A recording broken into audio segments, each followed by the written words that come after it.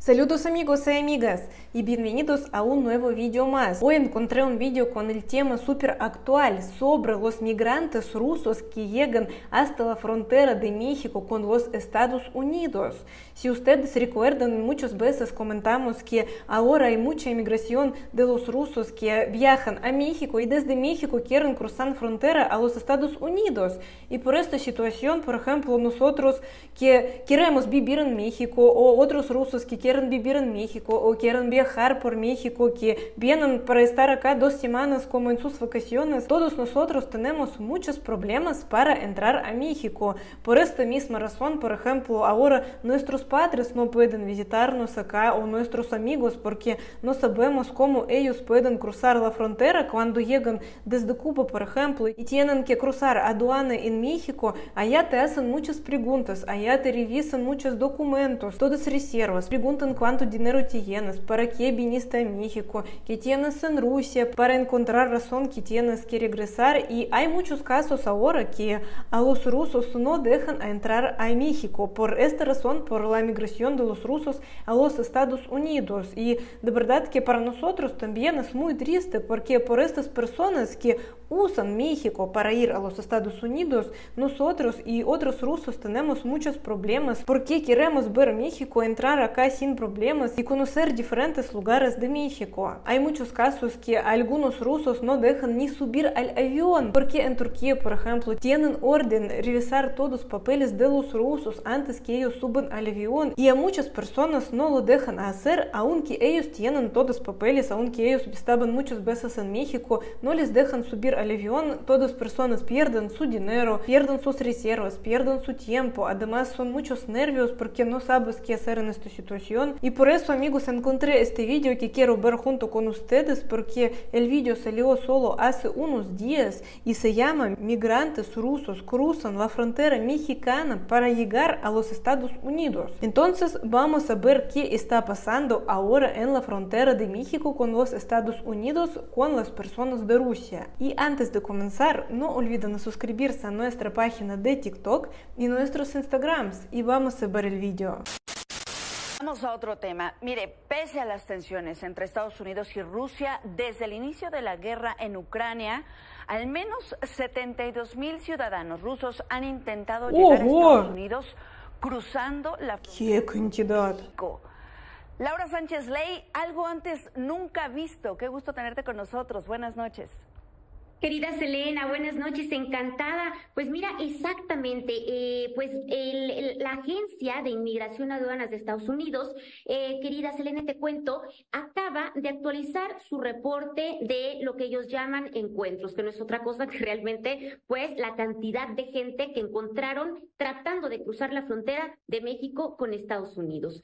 De tal manera que de verdad son sorprendentes, querida, eh, querida Selena, las cifras. Y es que solo en un año, es decir, entre el 2022 y el 2023, la cifra crece entre un, eh, eh, entre estos dos años, perdón, un 98 cosa que es tremenda, querida Selene. Y es que, bueno, se supo mucho de la migración rusa, sobre todo en el año 2021, sobre todo. Sin embargo, eh, pues dejaron de aparecer. Y la razón no es otra, querida Selene, que se convirtió en una migración silenciosa que no se está apilando en las garitas, sino en hoteles y casas, en Airbnb, ahora sí que incluso de lujo, en, eh, en la zona de, de, las playas, ¿no? Sobre todo en, lugares como Tijuana, querida Selene. Sabía sobre esto, pero no imaginaba que es un porcentaje tan grande. Las tensiones que existen entre Estados Unidos y Rusia por la guerra en Ucrania, eh, esto no desestima para nada, esto no le quita las ganas a, a, los ciudadanos rusos de querer ingresar a Estados Unidos. Evidentemente, la frontera por la que más gente intentó cruzar fue la garita de California, eh, todas las garitas de California, es decir, San Isidro, Mexicali, eh, donde se registró el mayor número de cruces que ya salen de 51 mil. otro cruce, digamos el que le sigue, sin embargo, la diferencia es muy grande, pues es el cruce con Texas con 14 mil. Eh, un contraste tremendo, tremendísimo eh, con la frontera de Canadá, donde solamente intentaron cruzar desde que inició el conflicto 792 personas. Y la respuesta es muy fácil, y es que pues realmente Canadá sí les está pidiendo un visado, mientras que México no. Sin embargo, pues todo esto, Selene, se da en el marco, pues evidentemente, de las constantes declaraciones de la subida en las tensiones entre Rusia y Estados Unidos y sobre Wow, amigos, de verdad que es una cantidad increíble, aunque yo sabía que hay mucha migración, pero no imaginaba sobre esta cantidad. Pero al mismo tiempo puedo decir que cuando nosotros vivíamos en primer piso en Ciudad de México, en este edificio vivían muchos rusos y todos ellos estaban esperando el momento para que ellos van a ir a los Estados Unidos y estábamos también muy sorprendidos que hay tantas personas rusos que están buscando su vida allá en los Estados Unidos. Sobre todo en que la administración federal encabezada por el presidente López Obrador pues ha quedado en medio del fuego cruzado entre estas potencias. Y es que pues recordemos que incluso durante durante estos meses se le ha estado acusando por parte de autoridades estadounidenses, particularmente de las milicias estadounidenses, al gobierno mexicano, pues de ser permitivos con eh, instalaciones y con agencias, incluso como el Departamento Central de Inteligencia, la GRU, ¿no? Entonces, pues estamos ante esta situación, Selene, y parece que la cifra va a seguir creciendo. También el... Eh, ¿Sí? ¿Cómo les va con las peticiones de asilo? La,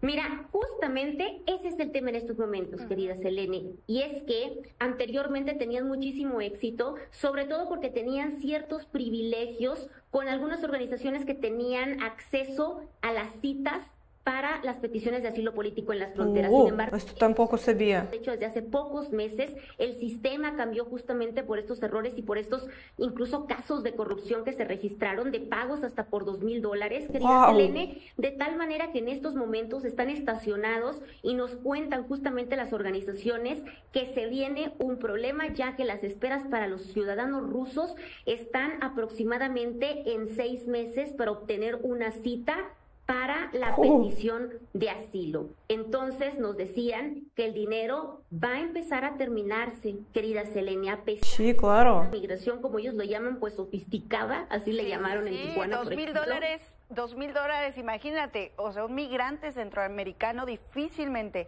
tendría recursos para pagar dos mil dólares. Totalmente, totalmente, querida Selene. Y esa es eh, la exigencia por parte de muchas organizaciones, ¿no? Que nos decían que pues desgraciadamente, pues sí tenían ventajas sobre la migración, por ejemplo, centroamericana. Actualmente el Instituto Nacional de Migración también ha revelado cifras y pues bueno, este 2024, querida Selene, los vuelos con, pues ahora sí que turistas, que ese es el, digamos, el estatus en el que entran los ciudadanos rusos, eh, son altas. Ya están eh, alcanzando cifras también muy altas comparadas con, con, los años pasados, de tal manera que se espere pues, que esta gente que está llegando por avión, Selene, realmente pues su objetivo es instalarse en las fronteras para intentar... Sí, amigos, esto quería decir también que los rusos que cruzan la frontera gastan muchísimo, muchísimo dinero. Casi la mayoría de las personas que quieren ir a los Estados Unidos y llega a México gastan miles de dólares porque el avión desde nuestro país hasta México está carísimo. Además, ellos necesitan dinero para vivir primer tiempo en México y normalmente eligen departamentos bastante caros, además necesitan dinero para pagar estos multas sobre que no escuchaba, pero también es mucho dinero y además necesitan dinero para sobrevivir en los Estados Unidos, por eso venden muchas cosas en Rusia para poder vivir, para poder ir a buscar su nueva vida, pero no tienen ninguna garantía que allá les está esperando una buena vida. cruzar este 2024 a Estados Unidos. Qué fenómeno. ¿Y qué, qué, qué, ha generado justamente entre, entre los gobiernos de estos tres países, Canadá, Estados Unidos, eh, Rusia? Eh, me suena a conflicto también, ¿eh?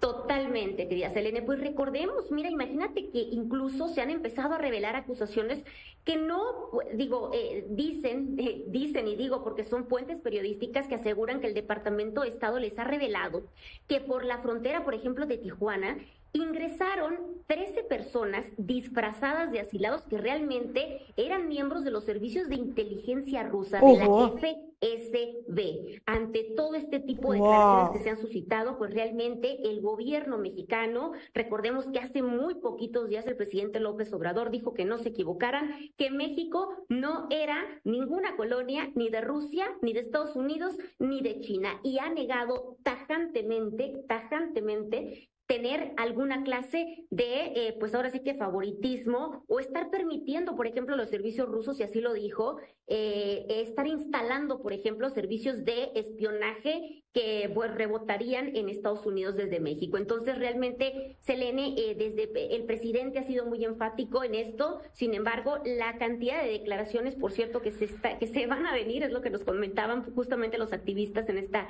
en este reportaje, que muy pronto, pues empezaremos a ver que suben más de nivel estas declaraciones en el marco de la elección estadounidense. Así que, pues a esperar por lo pronto ahora tenemos fenómenos reales, además de las declaraciones entre estos eh, mandatarios de, eh, pues bueno, ya problemas en la frontera. Por ejemplo, incluso tenemos eh, detenciones de polleros rusos que intentan cruzarlos de manera ilegal por México. Claro, y es que no hay dinero que alcance. Pueden estar desembolsando estas grandes cantidades de dinero para las citas, pero con la larga espera, este fenómeno también de los polleros rusos puede ir creciendo.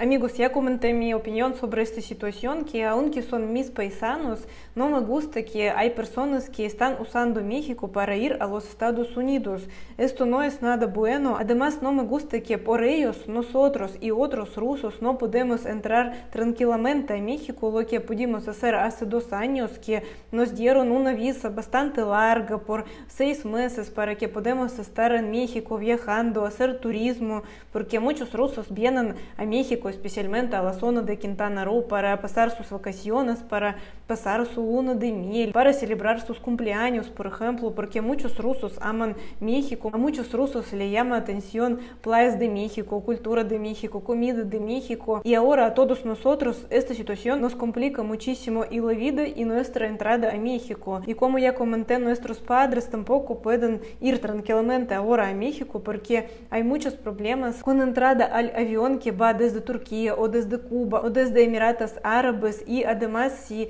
tienen permiso subir al avión podemos tener problemas acá en México. Como ya comenté dos veces que entraba a México tenía que hacer muchas muchas cosas, muchas reservas que antes no necesitaba para que me dan permiso a entrar y además ahora a nadie le dan visa por seis meses, aunque ya entraba a México varias veces y esto no importa. Y amigos, es interesante que ustedes piensan sobre esta situación, sobre migración rusa, sobre los rusos que ahora están en la frontera entre México y los Estados Unidos. Si a ustedes les tocó ver esta situación o escucharon algunas historias sobre los rusos que cruzan a Estados Unidos desde México, es muy interesante ver qué ustedes piensan. Por eso abajo de este vídeo voy a leer sus comentarios con las opiniones. Y muchas gracias por ver mi reacción. Si te gusta, por favor suscríbete a este canal, dale like, activa el icono de la campanita y nos vemos.